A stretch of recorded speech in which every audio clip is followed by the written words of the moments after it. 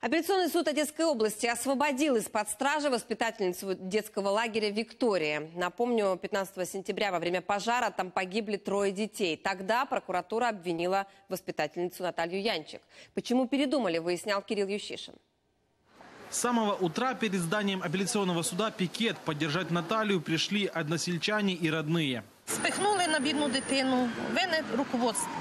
Вони бачили, скільки там в них до- недоліків, а заселили дітей. не мали права її їй давати такі обов'язаності, які їй дали.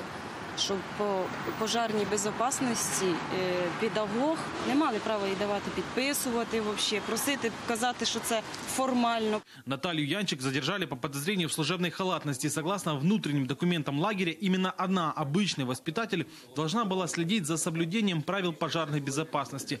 Поэтому, по мнению следователей прокуратуры, Наталья может быть виновна в смерти детей. Защита так не считает. Нормативні вимоги не дозволяють призначати будь-яких третіх осіб, крім керівника об'єкта, на період проведення робот е, з капітального ремонту, реконструкції. В документах Янчик действительно числится как ответственная. Подписать их, по словам Натальи, попросил директор лагеря. Дескать, это сущая формальность. Но после того, как пожарные пришли с проверкой и оштрафовали Наталью, у нее возник конфликт с руководством, и воспитатель написала заявление об уходе. Было это еще 8 августа.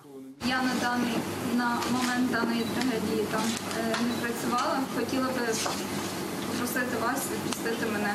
Ранее прокуратура требовала для Натальи два месяца ареста. Но сегодня позиция кардинально изменилась. Беручи до уваги ряд обставин, встановлених слідством додатково, вважаю, що стосовно останнього можливо брати запобіжний захід, захід не пов'язаний з триманням під вартою. После небольшого технического перерыва суд отпустил Наталью Янчик на поруки прямо в зале заседаний.